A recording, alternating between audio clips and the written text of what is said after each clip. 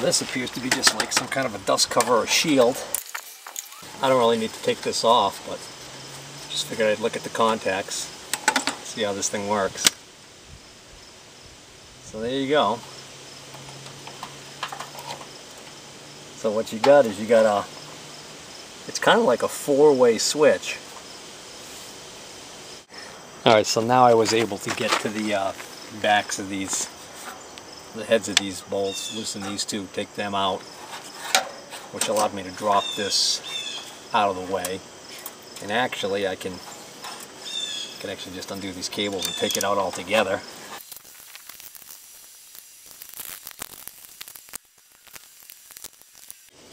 Judging from the looks of it, I don't think this was switched very much. Chances are they picked one polarity to, to weld with and did most of their welding with that. Not only that, but you see there's a complete absence of arcing. That is because there's a warning on the front here on, on the other label basically letting you know not to switch this while the unit's under power because as that contact makes and breaks it will arc and damage the contact area so you never want to do that on one of these old transformer welders. There's some good scrap copper on that but I might just keep that unit until I'm sure I don't need it. Now I can really see these two capacitors right here that are uh, apparently notorious for going bad on these units. And one of the things to look for, I had mentioned earlier, is what I can see back there, which is oil dripping out from the back.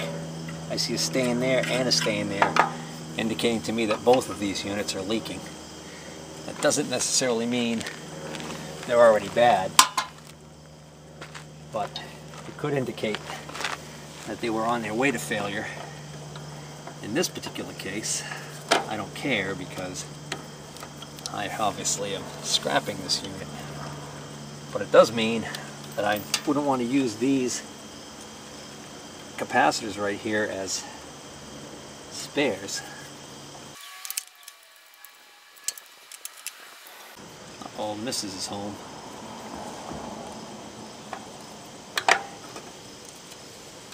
It wasn't her. Good.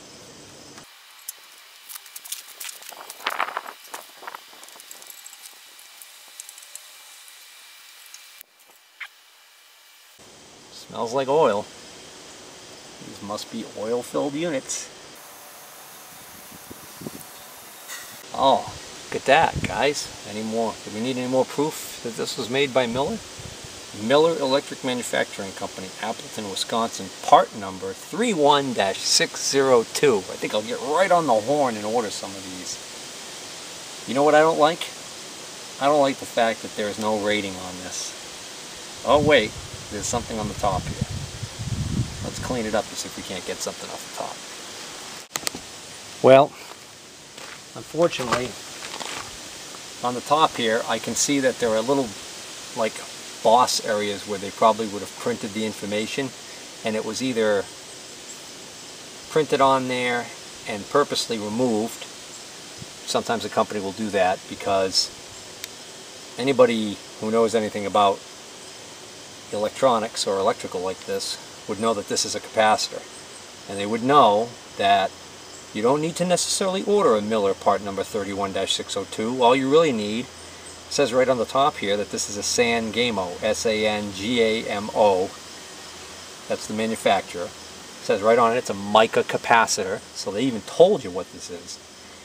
So the other thing you need to know is you need to know what the working voltage is, which would have been here, but is not present. Also, over here is MFD, that stands for microfarads. That's the unit of capacitance that would tell us what this uh, capacitor is in microfarads. So there should be a number here that's also missing.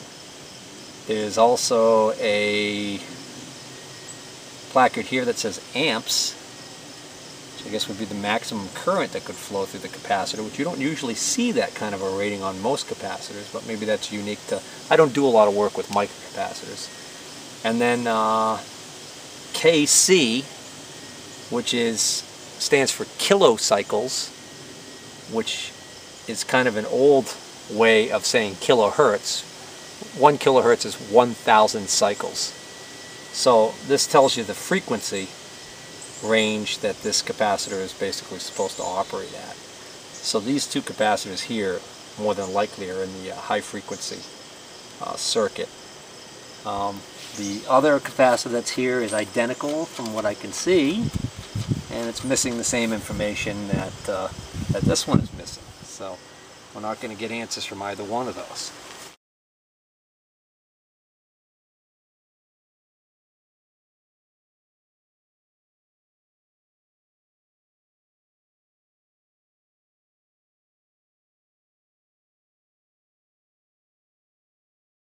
Let's see if I can identify these positively on the schematic.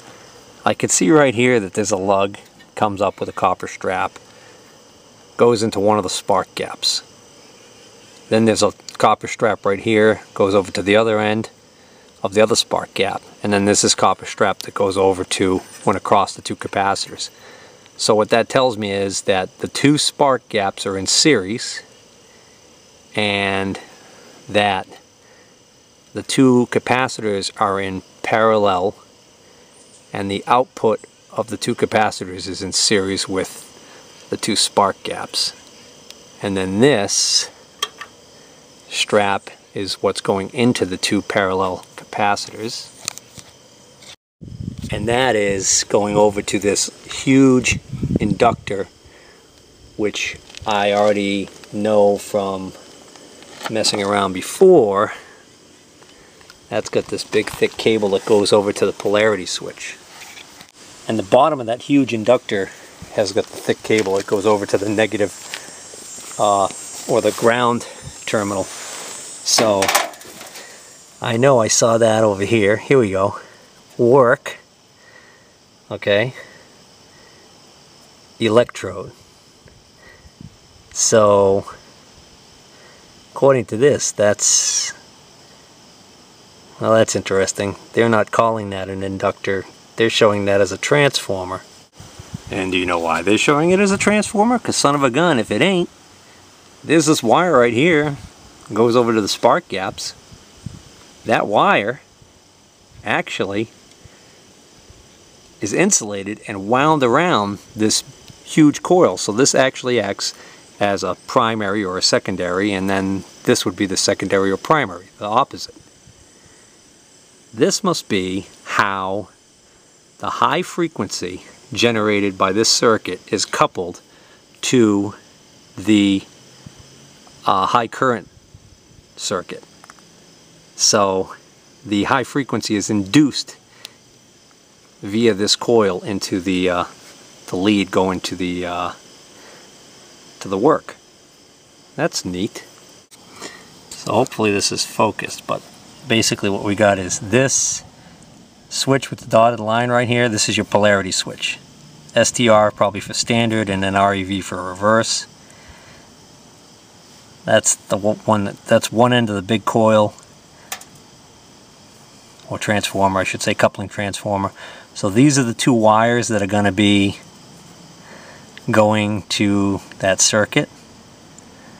So according to this, one of them Alright, so there's your spark gap right there. You can see it's three dots because it's the two spark gaps are in series. According to this, the two spark gaps are in series with, I'm reading this upside down, but it looks like one capacitor called C2. But I bet you dimes to donuts, that's actually the two capacitors in parallel they're treating as one capacitor called C2. And then there's another capacitor right here called C3 that runs from the top of that coil down to the work electrode. That's actually this unit right here. This is C3. This C this this wire right here goes through the backside and goes up to the top of that coil. And this wire right here runs right over to the to that connection right there, which is the work connection. So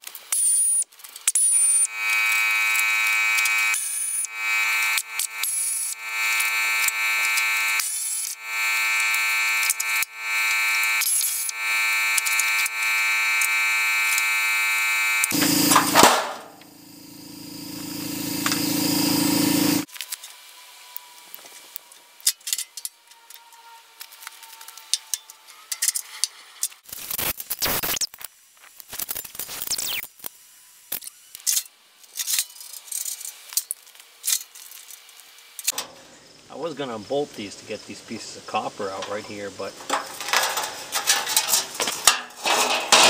interestingly enough, see if I get a shot of this,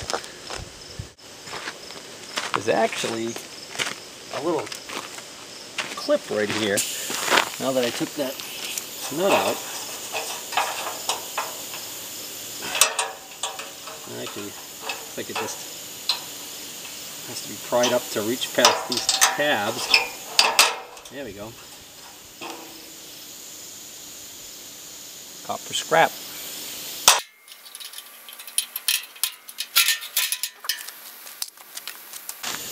wonder if I can get these bolts. Oh, I see. Behind those uh, copper pieces, two more nuts were hiding.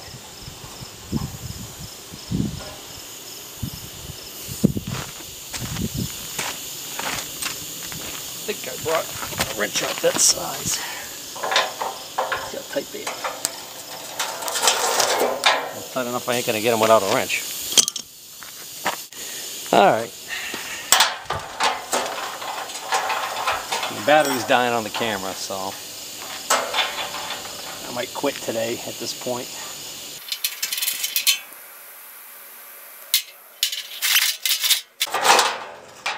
Startled myself.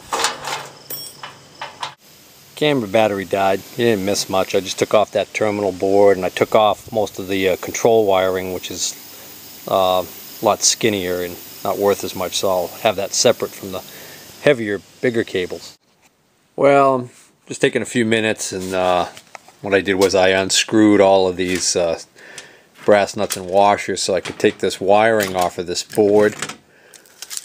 And uh, the reason why I'm doing that is because I'm I could either take this wire and I could just throw it in the scrap pile with the other scrap wire, but actually, because it's got all these nice ring terminals crimped on the ends and it's good heavy gauge copper wire, this is really good uh, sized wire for uh, like wiring a dashboard on a tractor or something like that, gauges, things like that.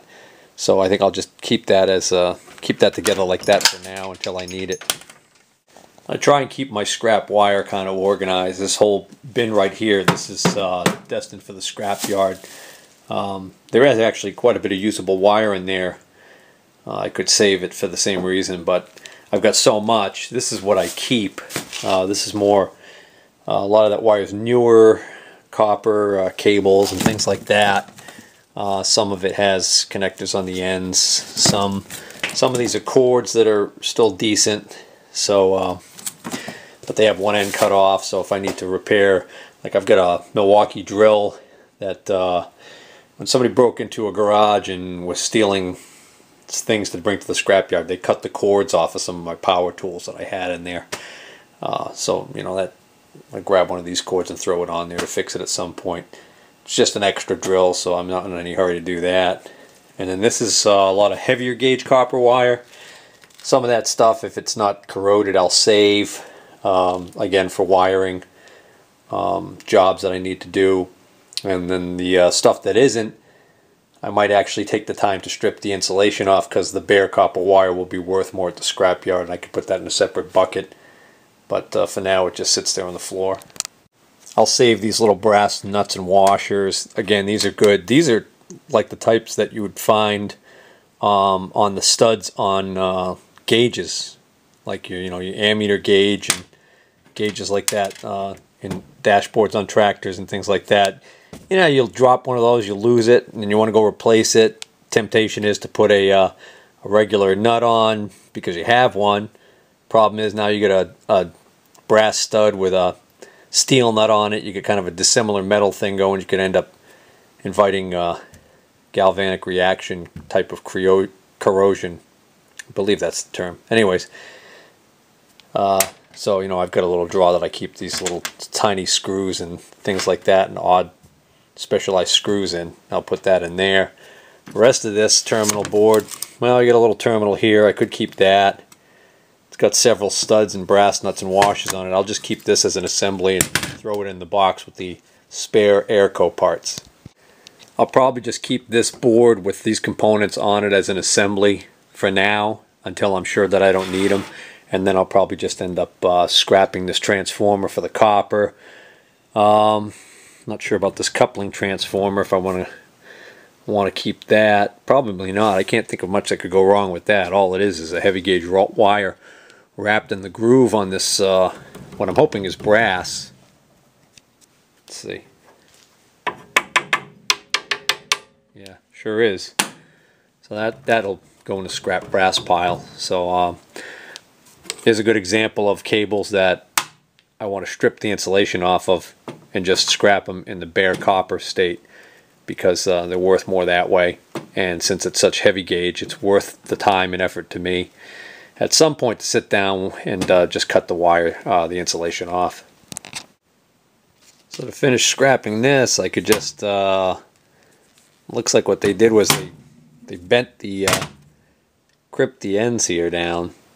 So if I uncrimp that end and the other end, I can just unwind this copper wire from this coil of brass and then this brass is actually welded or brazed to these aluminum ears right here. So I might try and see if I can uh, whack those off with a hammer.